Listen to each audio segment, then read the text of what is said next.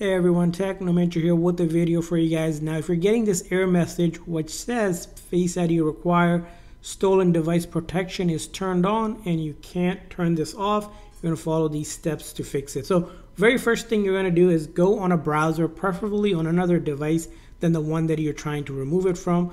But you can also do it from the device. Just simply go to iCloud.com and then you're going to sign into your iCloud account that's on that device. So, enter your Apple ID and password to get in once you do that, you're going to go ahead and tap over here and click on Find My.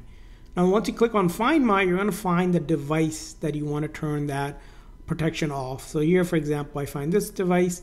And here, you're going to remove that device. So you're going to click on Remove and uh, remove it from it. So you're going to hit Continue. It's going to say cannot remove, but you're going to hit Continue to remove it. So you'll do that first. Now, after you have done that, the next thing you're going to do is go back into your setting and then you're going to try to go into your face ID and passcode and go ahead and enter your passcode.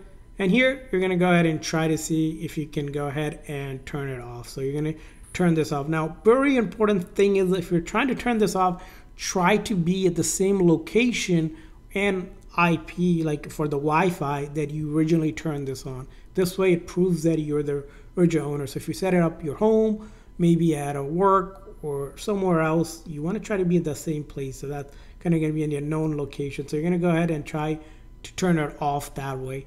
And hopefully it works. Now, in a scenario it doesn't work, right? Let's say you have an issue, it doesn't turn on.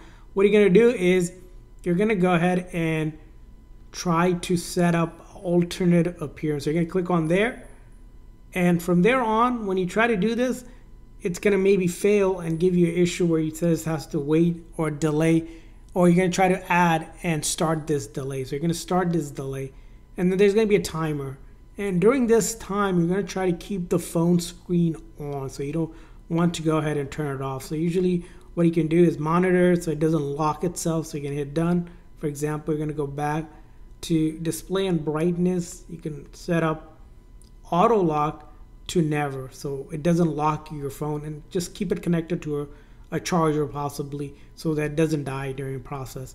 With this not locking and you waiting one hour and then you can come back into your face ID and passcode again and then go ahead into your device and then here it should finally let you go ahead and turn that off.